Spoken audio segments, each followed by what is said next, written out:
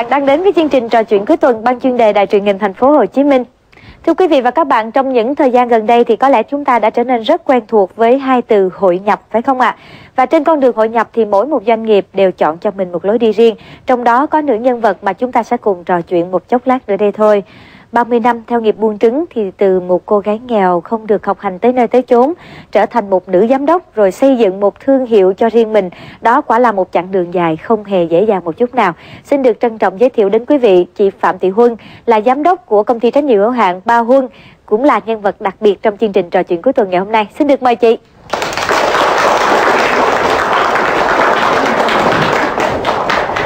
Chào chị. em. Chào quý vị khán giả. Mời chị ngồi. Dạ. Hình như là gia đình của chị có tới 50 năm là trong nghề Dạ. buôn bán trứng à chị? Dạ. Dạ. Hồi đó thì ba mẹ đi Dạ. thì tôi đi học được mới có hai lớp rồi thì ba mẹ tôi phải nghỉ, nghỉ học để đi theo mẹ giữ em. À. Thì khi lớn lên thì mẹ thấy là tôi làm được thì thôi là 15 16 tuổi mẹ tôi đã giao cho tôi đi một mình. Ừ. Thì từ ở dưới các tỉnh miền Tây tôi mua thì tôi đem lên thành phố tôi bán. Ừ. tới năm giải phóng vô thì nhà nước tiếp thu ngành nghề thì tôi đi làm tay nghề cho công ty nông sản thực phẩm tỉnh Kiên Giang À. thì tôi cũng là vận chuyển trứng lên giao cho các quận Ngay cả trong thời điểm đó gắn liền luôn tôi thấy trứng làm như là nó là nhập vô tâm vô máu nên tôi không thể nào đổi chuyển nghề khác được. Bình Hương có nghe đồn thôi. Này không biết có thiệt hay không. Chị phải Dạ. xác nhận lại là ừ, Nói là cầm một quả trứng bình thường lên. Chị nhìn cái là chị biết là trứng cũ, trứng mới, trứng tốt, trứng xấu làm sao đúng không? được cái kinh nghiệm đó em. À, tại vì à, mặc dù cái cái ờ, trình độ tôi không có nhiều nhưng mà tôi được cái kinh nghiệm tôi lại tự hào được. Dạ. dịch đẻ vào mùa thứ mấy giai đoạn nào? Một bầy dịch chạy đồng chạy qua tôi biết cái đà bầy đó khoảng bao nhiêu con. Wow. nó, nó xưa nó không nhiều.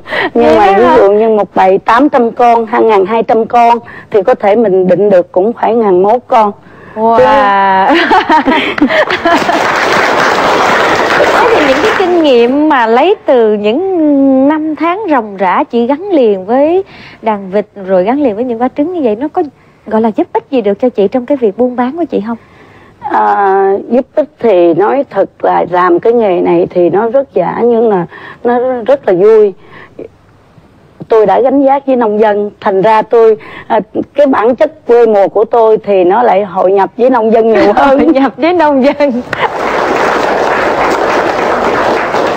mọi người sẽ sẽ thắc mắc là cái doanh nghiệp Ba Huân đã bắt đầu ra đời từ khi nào?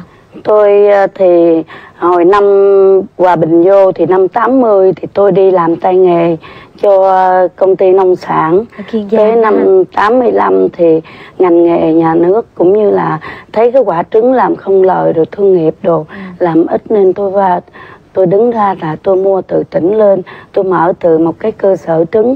Mới đầu là cái tiệm trứng rồi cơ sở trứng rồi sau tôi lên doanh nghiệp À. rồi hiện tại tôi thành công ty Nhưng tại sao lại lấy tên là Ba Huân? tại cái tên ba huân là cái tên của tôi rồi nông dân cứ đặt ba huân ba huân rồi về sài gòn tôi bán cho các chợ cũng đặt ba huân nên tôi lấy ba huân tôi lấy tên tôi làm cái thương hiệu luôn cái thương hiệu luôn cảm ơn Dạ. chị nhưng mà chị có cảm thấy rằng cái tên Ba Huân như vậy nó hơi bị dân dã quá so với một doanh nghiệp bự như vậy không? Nhưng mà tôi cũng nghĩ là cái tên thì ờ, nói thật với em, tôi nghĩ nghĩ với khán giả là, tôi nghĩ là tạo hóa đã sanh ra mình rồi cha mẹ đặt cái tên. Thì thôi bây giờ ờ, người tiêu dùng rồi người nông dân đã mến mộ cái tên mình mà mình đổi cái từ đó thì tôi sợ nó không phù hợp tới cái trời ban cho tôi nên tôi cứ lấy bao quân hoài. Cảm ơn chị nhưng mọi người cũng sẽ không quên được một cái ờ, gọi là một cái đại nạn đối với ờ, dân chăn nuôi. Dạ. nói chung và đặc biệt là những người làm ờ, những cái công việc chăn nuôi có liên quan tới gia súc gia cầm. Đó là vào khoảng à, chính xác là năm mấy chị ha? 203 203 Ừ. cách đây cũng 4 năm rồi. Đó là dịch SARS và à, đại dịch H5N1 cũng là tung hoành ở nhiều nước trên thế giới trong đó thì có Việt Nam chúng ta. Lúc đó thì tình hình ở nước mình và và và bản thân với doanh nghiệp của mình thì nó lao đao lao đao khốn khổ lắm em. Tại vì hồi, hồi đó giờ mình làm cái ngành thì từ nhỏ đã làm lên lớn một chút. Ừ. thì mình chắc chiêu thì tính là nó đã yên xuôi không ngờ là gần gần tết. Thì khi nghe cái tin dịch thì đó giờ mình đâu có biết dịch gì thì tính là cũng năm ba ngày yên. Nhưng mà đại dịch H5N1 ụp vô rồi một cái là những cái con nợ nợ mà tôi bán gối đầu cho ừ. những chợ rồi những cái tiền tôi ứng cho nhà chăn nuôi thì hầu như là tôi phủi trắng. Tại vì họ dịch bỏ đẻ trứng ngoài đồng không ai lượm rồi lại dịch thả lan chạy theo nước trôi. Rồi những người buôn bán thì đem bị hủy bỏ. Thành ra công ty doanh nghiệp của tôi cũng lao đao theo. Là mình thì cũng bị gọi là bị tổn thất không, nặng. không không có trả rồi lúc được. đó tôi tôi đau luôn em. Tôi bệnh dữ lắm. Rồi tôi cứ dòm chuồng nào chuồng nấy là chủ đi lợi người ta chống tay ngồi khóc rồi tôi cũng khóc. Rồi tôi tôi đi về.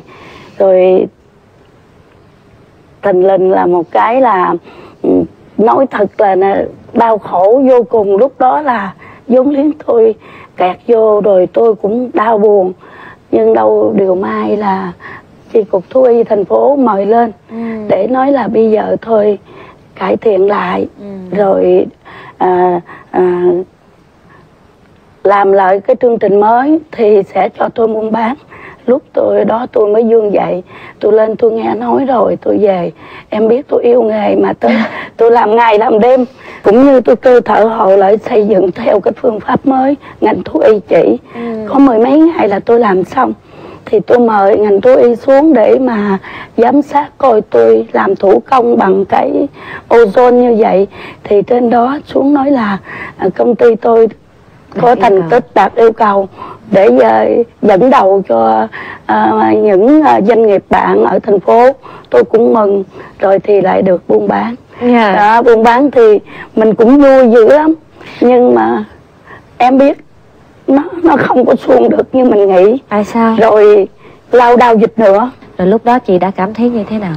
Thì uh, tôi dòm thấy nông dân chưa gỡ nợ được mà đã dịch nữa rồi. Tôi rất là nghẹn ngào. Tôi không biết cách làm sao thì tôi mới suy nghĩ tới là à, nhiều bạn bè khuyên tôi nên làm ngành khác. Đừng là nên nghề dạ, đừng nên làm trứng nữa. Không có ổn đâu hết vốn nữa rồi. Rồi đêm tôi nằm tôi cũng muốn chuyển nghề. Nhưng mà tôi nghĩ cái quả trứng nó đã gắn với tôi hàng bao nhiêu năm nay cũng nhờ những cái quả trứng, những cái ngày gian khổ của tôi đã báo hiếu với cha mẹ, cùng đồng thời là nuôi các em. Với lại bà con nông dân gắn với tôi. Nếu mà tôi bỏ như vậy thì tôi sống không có ý nghĩa.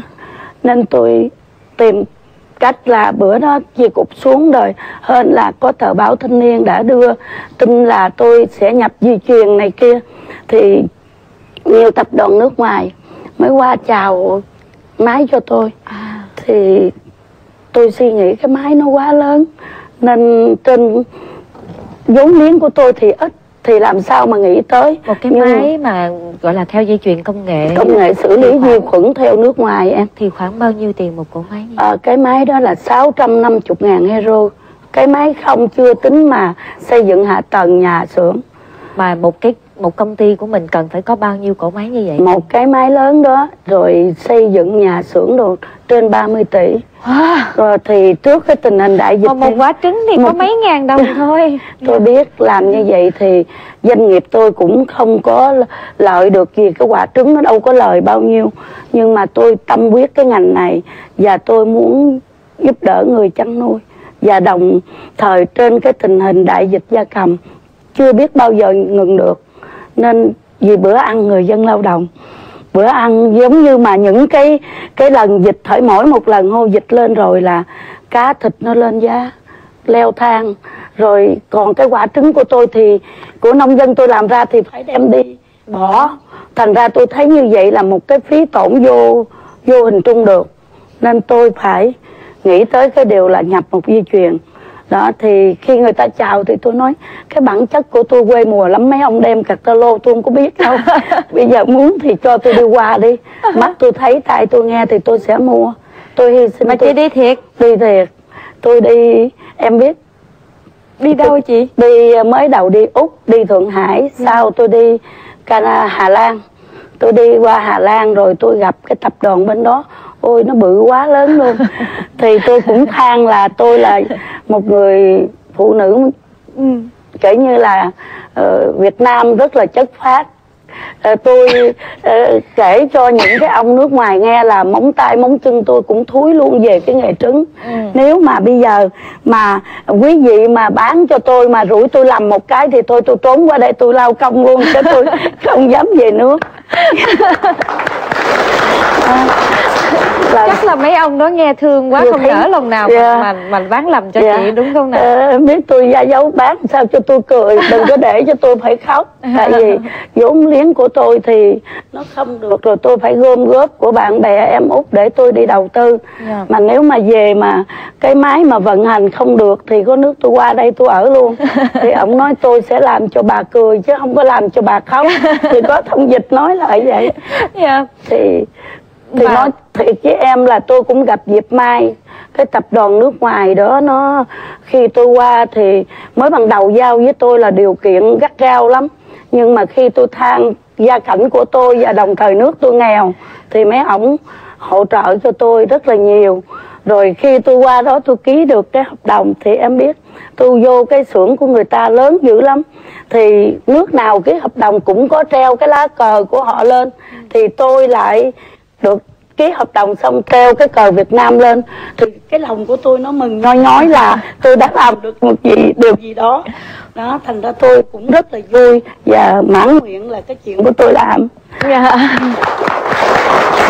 À, tháng 12 2006 thì chị đã cho vận hành dây chuyền công nghệ xử lý tướng tự động là Đúng. cái cái cái cổ máy mà chị đã đem hết gọi là nước mắt rồi mồ hôi của Yeah. chị đó ha. Yeah. Như vậy thì đây cũng chính là một trong những nhà máy xử lý trứng hiện đại nhất hiện nay tại Việt Nam. Và để có thể hiểu rõ hơn về nhà máy của chị, về cái cổ máy tâm huyết của chị thì chúng tôi xin được mời quý vị chúng ta hãy cùng đến với những thước phim sau đây. Mời quý vị cùng hướng về màn hình. Công ty Moba Hà Lan đã chuyển giao công nghệ cho doanh nghiệp Ba Quân trong việc đảm bảo chất lượng trứng sạch qua xử lý. Không phải lý giải gì thêm rằng tại sao bà con đồng bằng sông Cửu Long một mực xác tính và tuyệt đối tin cậy chọn lựa Ba Quân để cung cấp nguồn trứng. Không phải hoài nghi rằng tại sao Ba Quân được thành phố và các sở ngành ủng hộ trong việc đầu tư này và không cần phải lo lắng cho người tiêu dùng, đặc biệt trong mùa dịch cúm. Chúng ta biết rằng cầm một quả trứng sạch của ba quân về nhà chế biến một bữa ăn là chúng ta được bảo đảm an toàn. Đó là niềm tin cần có mà ba quân đã tự hào có được từ thị trường tiêu dùng trong nước. Có thể hiểu 30 tỷ đồng đầu tư để có được một quả trứng sạch trong siêu thị giá 1.400 đồng, ở chợ giá 1.200 đồng. Trong khi đó giá gốc thu vào đã là 1.100 đồng thì 30 tỷ đồng đầu tư của ba quân không thể được nhìn vì lợi nhuận, vì lợi ích kinh tế. Với dàn máy được nhập và chuyển giao công nghệ từ châu Âu, Ba Quân đã tiếp cận một cách làm ăn chuyên nghiệp thời hội nhập, nâng cao giá trị đối với cộng đồng, xây dựng hình ảnh nhân bản, có trách nhiệm đối với xã hội và đặc biệt là nâng tầm người nông dân Việt Nam trong cách mưu sinh ở một tầm cao mới.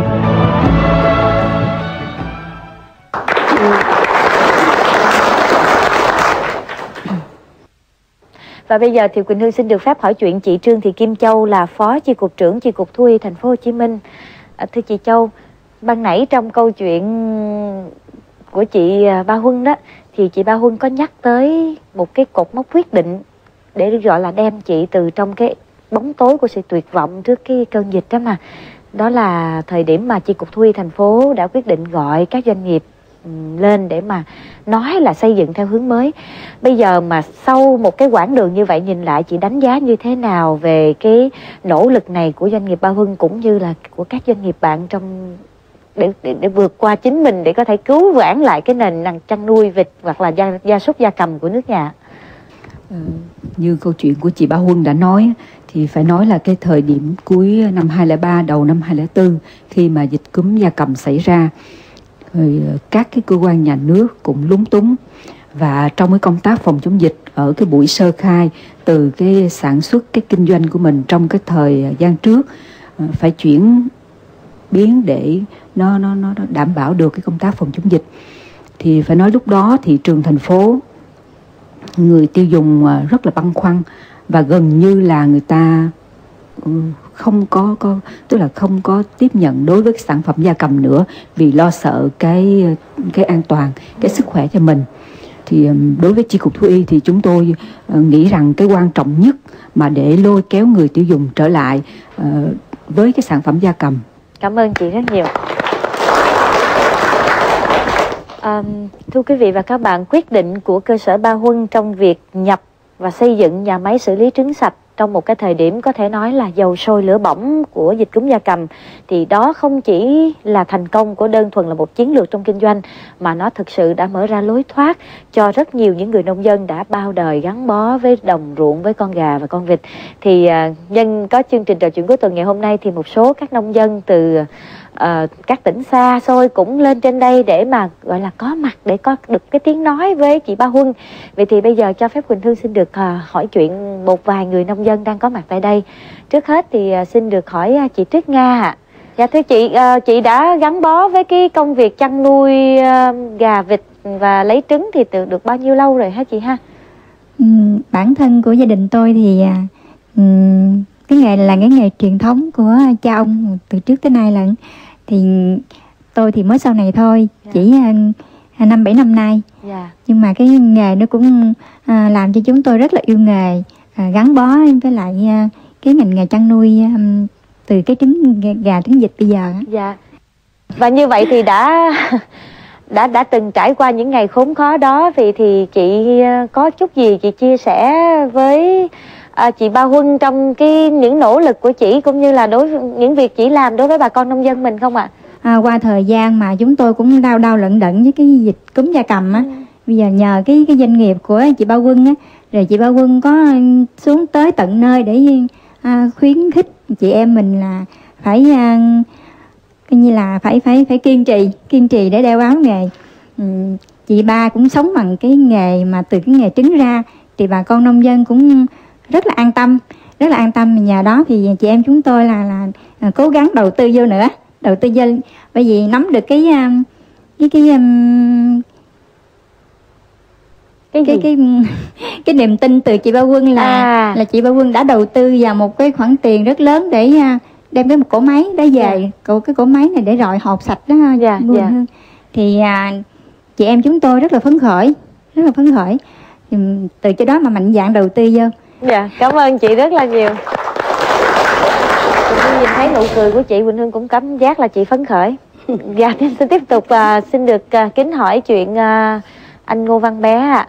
anh uh, cũng từ Kiên Giang rạch giá lên hay là anh từ một nơi khác ạ à? à, tôi cũng từ Kiên Giang rạch giá lên dạ và anh cũng gắn bó lâu năm với lại quả trứng với lại con gà con vịt chứ ạ à? à kính thưa quý vị nghề chăn nuôi này từ thời ông nội ông ông nội tức năm 41 đến bây giờ coi mình chăn nuôi con vịt từ năm dạ. 41 tới dạ, bây giờ là gần dạ. 70 năm á dạ từ ông nội đó mình chưa có Ồ oh, dạ. dạ dạ rồi như vậy thì anh nếu mà đã trải qua một cái chặng đường dài như vậy gắn bó từ gọi là thế hệ này sang thế hệ kia dạ. đó anh có thể uh, cho khán giả được biết là cái cái cổ máy nói nôm na là rọi trứng sạch như nãy chị Tuyết Nga chị nói đúng là máy rọi trứng sạch đúng không ạ? Dạ, dạ. Thì của chị Ba Huân mà nhập về như vậy thì đã giúp cho bà con nông dân mình như thế nào? Ở nhà chăn nuôi thì những lúc h năm là một thì coi như là khổ lắm. Chị 200 đồng học đó mua rồi dịch đã lan ngoài đường luôn chị ba xuống thôi anh, anh em mới làm lại đi tôi sẵn đầu tư chụp thú y nó chích thuốc ngừa nhưng từ đó là chị ba quân có nhà máy thì nông dân phấn khởi lắm. Ừ, mà hết lo. thiệt là hết lo không? Hay là lúc đó cũng bán tính bán không, nghi? có nhà máy rồi tôi đi cái Khánh Thành. Thấy nhà máy công nghệ hiện đại lắm. Cái là tin tưởng tin luôn tưởng, về nhà dạ. là sản xuất là yên tâm nuôi tiếp luôn. Dạ, nhất là thú y địa phương chích thuốc ngừa đầy đủ rồi mở chỉ chỉ có quân mở cái cái xí nghiệp nữa là thấy đầy đủ quá rồi hài lòng nông dân nuôi thêm. Cảm ơn anh rất là nhiều. Cảm ơn anh. Như vậy quay trở lại với câu chuyện của